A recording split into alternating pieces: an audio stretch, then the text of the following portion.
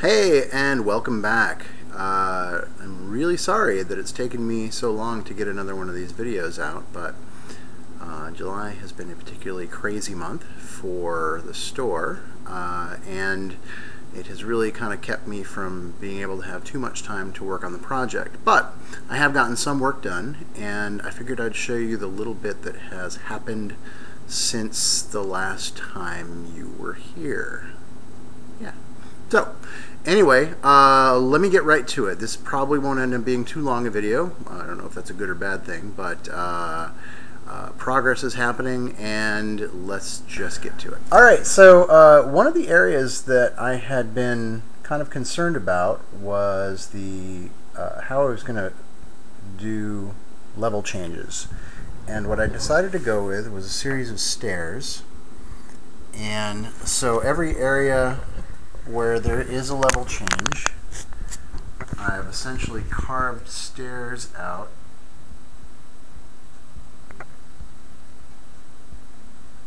I carved stairs out and uh, using the hot wire and essentially bending it into that shape that you see there, that sort of finger shape, uh, submerging it into the foam and then pulling out and then doing that again in sort of stepped fashion. They're not pretty, but I figure when all is said and done, uh, they'll look reasonably cool. Um, so that was that was the decision I made there. Uh, this is uh, my attempt to fix a problem that I had created by uh, um, cutting too far into this little trench. Uh, so this isn't completely done yet. That's essentially just a big gap filler. Uh, and I'll go back in with something at some point and try to make that look a little nicer.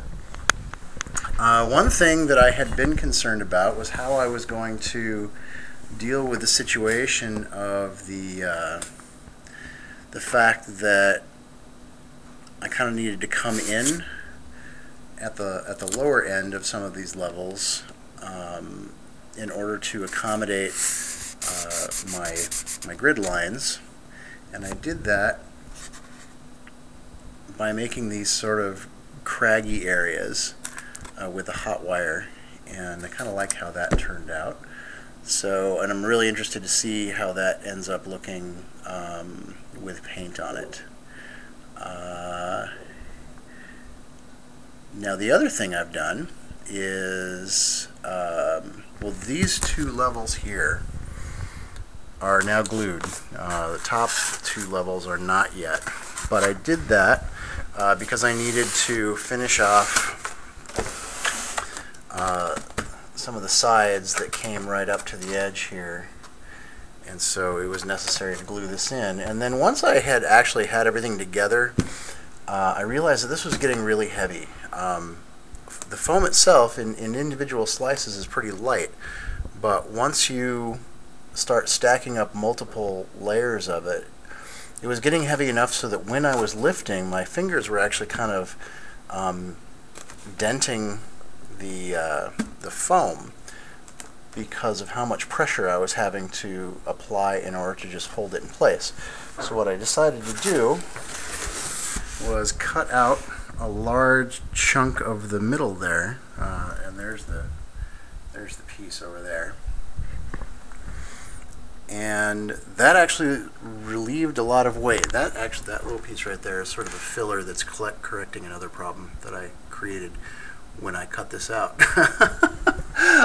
um, but as it turns out, um, you know, this lightened it up enough that even with uh, all four pieces stacked now, it's significantly lighter than it was. Um, and even if you just hold that one piece over there, it doesn't seem on its own that heavy, but um, taking it out was definitely a relief. So, uh, what is next here? And I, have been debating that. Uh, I actually think one of the things I need to do is uh, do some gap filling.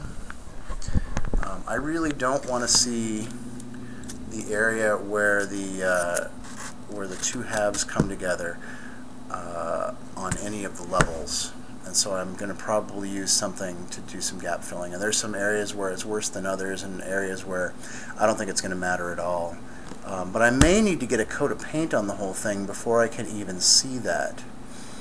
Uh, so that may be the next step. Uh, getting at least one coat of paint and it'll probably just be a, a dark brown uh, base mountainy color to you know really get things going. All right, so um, and the other things I need to do, um, and I, I, haven't even decided whether or not I'm going to texture the top of this the way I did my other map, um, and I may not because the uh, uh, the tops are all going to be snow covered, and snow would be nice and smooth. So um, I may not texture this with land. Um, and again, these are areas where um, I've, I've, given it a lot of thought, but until I kind of just move forward, I may not, I'm not going to know. And maybe again, that first coat of paint will kind of answer these questions for me. Where if I get the coat of paint on, paint on then I can kind of look at it and see where it is, um, and, and, sort of in my mind's eye, kind of uh, envision where it will be at the end. Uh, I still don't have trees for this, and I had originally been thinking that I might make trees. But um, that's a lot of work, and I want to get this done. but I also discovered on eBay uh, a seller of trees, and I think they're in China.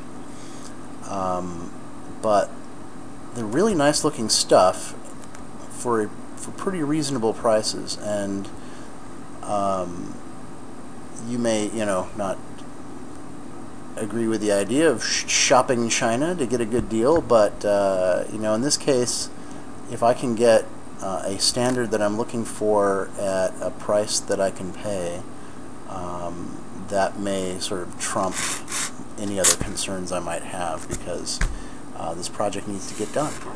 Uh, but anyway, that's where I am right now.